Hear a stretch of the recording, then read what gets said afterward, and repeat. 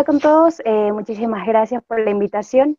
Para mí es un honor estar nuevamente con ustedes, eh, compartiendo en este espacio con Notas Carchi TV. En esta ocasión vamos a hablar sobre el soporte nutricional para pacientes en riesgo y pacientes críticos con COVID-19. Eh, lo he tomado como un tema porque es de relevancia, incluso aquí en el Cantón Espejo vemos que ya hay algunos casos. Entonces, en esta ocasión no, he venido sola, vengo muy bien acompañada de un colega y amigo mío, que es Ignacio Barrera, el cual vamos a compartir en este espacio una breve información de, lo que es el COVID-19 y el soporte nutricional. Eh, muchas gracias, Carol. Eh, como hace un rato mi colega me mencionó, soy el licenciado en nutrición Ignacio Barrera. Esta noche hemos venido a hablar lo que es un poquito acerca de lo que es alimentación, en lo que es la pandemia que estamos resultando, lo que es COVID-19. Ya, es lo que realmente quisiera, ya lo que es la, la introducción, que es lo que yo les voy, la parte que yo les voy a hablar es requerimientos nutricionales. Antes de iniciar con la explicación, es importante resaltar que el tratamiento nutricional debe empezar de manera temprana durante la hospitalización, dentro de las 24 a 48 horas, siempre recomendando que la vía oral es, la, es el primer método de elección y de acuerdo a cada caso se adecua al tipo de alimentación.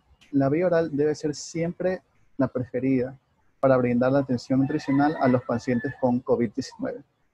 El inicio de esta atención debe ser lo más rápido posible, sobre todo en pacientes en riesgo. La, vía oral temprana puede proporcionar un apoyo nutricional, nutrientes a los intestinos, mejorar la barrera de la mucosa intestinal, la inmunidad intestinal y mantener la microbiota intestinal. ¿Por qué debemos optar por la vía, la vía oral y no la parenteral? Porque este, en la vía oral el paciente todavía puede realizar lo que es la etapa de masticación y hay un, hay un mayor aporte de nutrientes al cuerpo. A esto debemos recordar que este, debemos tener una correcta alimentación durante, este, durante esta etapa. Porque si ya que tenemos lo que es el virus de COVID, el virus lo que hace, uno de los, una, una de las sintomatologías principales es que no, este, vemos, vemos que vemos la comida y no nos da ganas, no nos da ánimos de comer. Sentimos a veces incluso náuseas. Esto nos impide ingerir alimentos. Esto nos comienza prácticamente a, a una etapa de desnutrición poco a poco.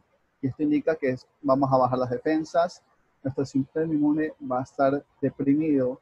Después vienen las otras sintomatologías que son fiebre, dolor de cabeza, eso, eso nos indica también que no nos, no nos va a dejar descansar correctamente y aún así va a seguir deprimiendo más nuestro sistema inmunológico. y de la mano con la mala nutrición, vamos a tener un cuadro que va a ir avanzando y vamos a comenzar a empeorar. Entonces, frente a esto, o como lo mencionó mi compañero, tenemos lo que es la alimentación en esta etapa. Para ello, según los expertos nos han mencionado que la suplementación debe ser de manera oral, parenteral o eh, enteral, ¿verdad? Entonces, para ello definamos lo que es los suplementos. Partiendo de que son productos nutricionales, eh, tenemos que pueden ser entre uno o más nutrientes que nos van a aportar eh, de alguna manera. Entonces, para cumplir todo lo que son los requerimientos nutricionales, estos no son suficientes.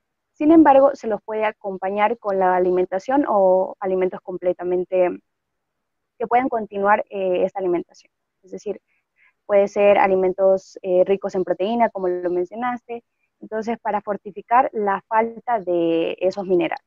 Bueno, entonces para ello nosotros eh, como nutricionistas partimos de una evaluación nutricional. Para ello utilizamos instrumentos y herramientas como son el método MUST, que es uno de los instrumentos utilizados para los pacientes en estado de malnutrición, como por ejemplo pacientes de desnutridos o pacientes obesos.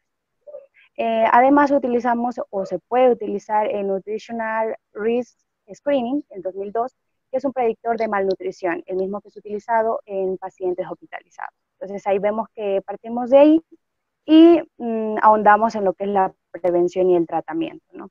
Bueno, ya partiendo un poco más al tratamiento, eh, se, puede, se debe argumentar que la malnutrición no es solamente cuando las personas eh, se ven como puede ser una disminución de la masa muscular.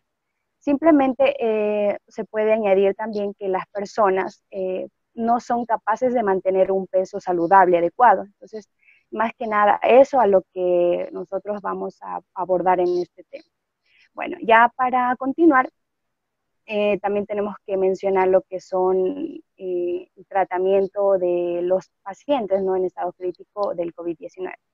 Para ello vemos que hay diferentes categorías o clasificaciones del paciente del COVID-19, iniciando con el paciente asintomático y se, obviamente este no tiene, no presenta signos y síntomas que puedan generar esta enfermedad, entonces es muy difícil eh, evaluar. Ya, una vez eh, hablando de esto, partimos que el 25% de estos pacientes van a requerir o van a ser ingresados a la unidad de cuidados intensivos, a la UCI. Entonces, vemos que es muy importante saber este tratamiento nutricional porque la gran parte de ellos necesitan un soporte nutricional. Bueno, entre las categorías eh, más importantes tenemos a un paciente asintomático, como lo mencionaba, donde los signos y síntomas no son relevantes o no se los puede evaluar el paciente infectado, pero que se encuentra domiciliado, ya el paciente que se encuentra fuera de la unidad de cuidados intensivos y el paciente que se encuentra dentro de ella. También aquel que necesita oxigenoterapia y el paciente mm, que necesita ventilación mecánica. Bueno, después de esta, de esta clasificación, vamos a abordar lo que es la terapéutica. Entonces, eh, para ello necesitamos de una suplementación la misma que se encuentra dividida en suplementación oral, enteral y parenteral. Bueno, la suplementación oral parte de más que nada para mejorar cuanto a la funcionalidad, el estilo de vida, vida y la calidad del mismo, del paciente. Entonces, principalmente eh, para cumplir con los objetivos nutricionales, la vía oral es una fuente principal de nutrición. Eso debemos tenerlo en cuenta, sobre todo en los pacientes con COVID-19. No sé si Carol o usted mismo, Ignacio, nos, puede, nos pueden ayudar. ¿Qué es más peligroso, si vale decir eso, ser un paciente de COVID con los síntomas como los que usted menciona o ser una persona con COVID eh, asintomática? ¿Por qué le pregunto esto? Porque eh, en donde nosotros tenemos cobertura, en el Carchi, en el Cantón Espejo, que es nuestro, nuestra jurisdicción, de donde es el canal, ha, ha identificado a muchos ciudadanos con COVID pero todos, de los 11 que hasta ahora están confirmados, son asintomáticos. ¿Eso no es mucho más peligroso todavía que alguien que sí presenta los síntomas? Bueno, claro, eh, este... bueno. Claro, sí. A ver, bueno, lo que he leído un poco es que el paciente asintomático, al no presentar esos signos, obviamente no puede acudir a una unidad de, puede decir, de médica a tiempo, entonces eh, ni siquiera sabe la gravedad de la enfermedad. Entonces él va desarrollando su vida normal y llega a un punto en que el paciente puede agravarse a tal punto que no hay, no hay una forma de restablecerlo. Porque si bien es cierto, eh, con la suplementación, obviamente lo podemos em, de cierta manera disminuir lo que es la, el contagio y tratar de mejorar obviamente la calidad de vida, pero si el paciente ya lleva un tiempo, puede llegar a un punto en donde no haya retorno. Es lo que... ah, correcto. Ignacio, ¿podemos acotar algo más de esto? Sí. Acotando un poquito, el paciente sintomático incluso puede ser un foco infeccioso a futuro, porque él tiene el virus, no tiene los síntomas. Él puede, él puede infectar a más personas, pero él se va a sentir bien. Por ende, eh, siempre se puede hacer lo que son las pruebas de COVID rápidas que tienen una efectividad del 80%, porque realmente una persona sintomática, ella se va a sentir bien, pero a su vez puede ir contaminando al resto. Ahí, ahí va a haber casos de personas que ya no son asintomáticas, personas que comienzan a tener los síntomas que son los principales, que son fiebre, dolor de cabeza y dolor de cuerpo de lo que es COVID. También incluso hay, avanza hasta, el, el virus avanza más y comienza a dañar lo que son pulmones, también eh, leyendo algo más de lo que ha publicado la OMS, también daña lo que es hígado y riñones. Prácticamente es un virus que te va atacando todo el cuerpo. Em, bueno, pasando a lo que es la suplementación enteral y parenteral, vemos que en este caso, cuando ya la vía oral no cumple con las necesidades energéticas, vamos a abordar la suplementación enteral o parenteral. Ya, eh, para ello debemos tener dos razones principales para abordar la nutrición enteral. En este caso pueden ser, por ejemplo, cuando los pacientes eh, una vez que han ingresado, la alimentación no cumple con las necesidades energéticas más de tres días. Entonces ahí abordamos lo que es la nutrición enteral o parenteral. También cuando los requerimientos energéticos y proteicos no cumple con las necesidades, ni siquiera la mitad de lo que debería estar cumpliendo eh, y supera los cinco días. También lo aplicamos, pero ¿dónde debemos tener en cuenta cuando, cuando no aplicar? Eso es un poco más importante porque el paciente eh, muchas veces se encuentra complicado, ya no solamente por la enfermedad, sino por otras patologías, ¿no?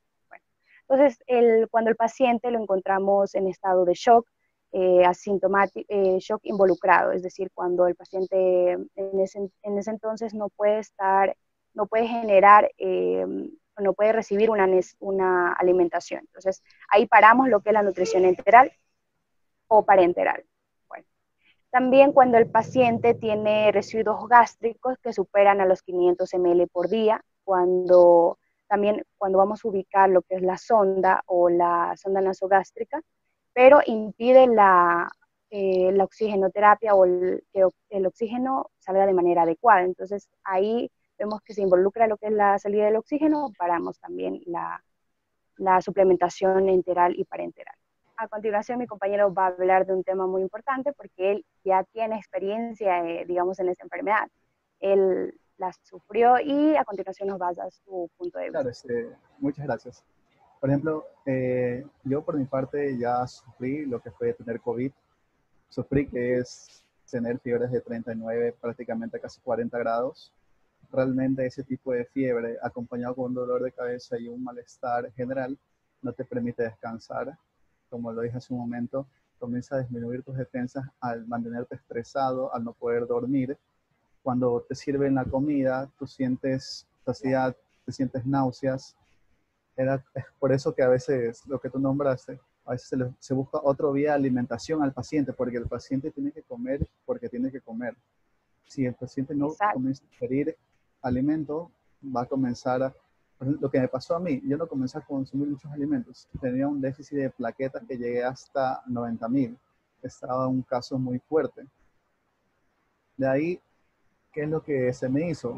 Se me, se me hizo un tratamiento riguroso en el cual se se trató directamente el COVID, porque también a su vez tenía dengue. O sea, tenía dos enfermedades, una enfermedad de temporada y otra realmente que es nueva. Era un, pasé, no, no sin mentirte, pasé días muy fuertes, pero ya realmente con el pasar del tiempo, con la medicación correcta y siendo riguroso, porque me traían la comida y no es porque, lo digo por experiencia, no es porque de, no me da ganas de comer, no voy a comer, eh, una recomendación a cualquier persona que tenga, o sea, que tenga esta enfermedad. Intente comer así sea de poco en poco, así se demore una hora, por decirlo así. Yo me demoraba casi ese tiempo solo en lo que era comer. Así vaya de poquito en poquito. ¿Por qué? Porque uno debe alimentarse. Si uno no se alimenta, comienza a bajar mucho más las defensas. Si no hay una correcta alimentación, no tenemos cómo combatir a lo que es el virus. Y realmente obviamente con la medicación correspondiente que le mande su médico. Acompañado de eso, siempre tenemos que tener una, alimentación adecuada, la medicación correcta, porque no es que es una medicación cualquiera, la medicación correcta. Y sobre todo, si vemos que tenemos un poquito más de fiebre, poner dos pañitos, eh, pañitos frescos en lo que es la cabeza, el vientre, para poder aplacar un poco más la fiebre. Y si eso también no les resulta, bañarnos cada unos 15 minutos. Eso es lo que yo hacía realmente para aplacar un poco más la fiebre y los dolores de cabeza. De ahí la etapa de recuperación es, no les voy a mentir, yo cogí después, cuando yo me estaba recuperando, cogí que quería acabarme todo lo de la nevera. Quería acabarme todo. Porque cuando te va, o sea, cuando regresas ya como que ya estás más, ya estás recuperándote. claro, estás restablecido y quieres alimentarte de alguna u otra forma. Claro, te da, te da por comer de todo pero igualmente hay que tener mesura en eso, porque si comenzamos a comer de todo, nos comenzamos a acostumbrar a comenzar a, a, ingerir bastantes carbohidratos, que es lo que más está en nuestra alimentación. Toda la alimentación, lo que es Latinoamérica, tenemos eh, la costumbre de consumir bastantes carbohidratos. Así que cuando regresemos, o sea, ya pasemos esto, lo que es esta enfermedad, concentrarnos un poquito en lo que es la ingesta de carbohidratos. Obviamente, todo hay que comer con mesura, pero recuperar otra vez la alimentación que teníamos antes. Claro, de manera equilibrada. Claro, todo de manera equilibrada. De ahí a ahí lo que me, de ahí este, otra cosa puntual, lo que me ayudó fue realmente el apoyo familiar, eso es indudable. El apoyo de tu familia te va a ayudar bastante porque es algo que tú te sientes aislado, que tú no te sientes, tú no te puedes mover de un punto. Obviamente te va a llegar un, puedes pasar por etapas de depresión o cuestiones así. Mi recomendación, lo que yo hacía, era leer un buen libro, eh, ver algo que te guste eh, y pasar este, el tiempo así sea haciendo un hobby, algún este, algo local o leyendo, que es lo más, haciendo cosas productivas que te llenen a ti como persona. Exacto. Pero sin más que decirles, normal. de mi parte realmente espero que les haya servido esta pequeña anécdota de parte de mi vida para algo más, para que tengan sobre todo un poco la vista de lo que es eh, este tipo de enfermedades. Usted eh, vivió, si van a decir eso, esto del, COVID-19 en carne propia. Ahora, luego de, que se sale de esto, se ha dicho que, bueno, la persona que padece de esto sale con anticuerpos y que ya tiene cierta inmunidad. ¿Es verdad eso? ¿No hay el riesgo de nuevamente contagiarse, Ignacio? A ver, este, según lo que nos han indicado algunos, la información que ha dado incluso la OMS, como es una patología nueva, es un virus nuevo que recién se lo está estudiando porque vamos como que a, paso que va avanzando el virus, atrás vamos nosotros para entenderlo. Eh, rápidamente, el cuerpo genera, eh, genera los anticuerpos, los antígenos, ¿verdad? estamos, un, estamos propensos a una reinfección, sí puede ser, pero no en mayor porcentaje. De un 100% estaríamos hablando de solo un 30% a una reinfección, pero igualmente ya contamos con los anticuerpos. Así igualmente la OMS ha declarado que puede, se puede haber, o sea, uno se puede volver a enfermar de COVID más adelante. Porque sabemos que es un virus, los virus siempre cambian, siempre van mutando de huésped en huésped. Puede haber de aquí en adelante otra mutación, Dios no quiera, del, del virus y va a volver a, va a volver a atacar, pero con nuevos síntomas. Eso es lo que es prácticamente lo que ha dicho la OMS. Porque como le, como le, comenté hace un rato, es un virus totalmente nuevo. Conocemos la mitad, por decirlo así. No conocemos al 100% la cabalidad del virus. Por ejemplo, incluso se han, eh, ha salido un nuevo, nuevo documento en el cual se, se, le, se le adjuntan nuevos, nuevas sintomatologías a lo que es tener COVID. Al inicio solo pensaban que era fiebre, dolor de cabeza y dolor de cuerpo. O sea, ahora se le ha sumado eh, eh, malestares estomacales, también diarrea, eh, también este, lo que son falta de apetito y otros más. Ya, bueno, damos por finalizada esta entrevista, espero que les haya gustado, como lo mencionaba mi compañero. Él ya padeció de esta enfermedad y nos está hablando desde su punto de vista, ya desde la experiencia.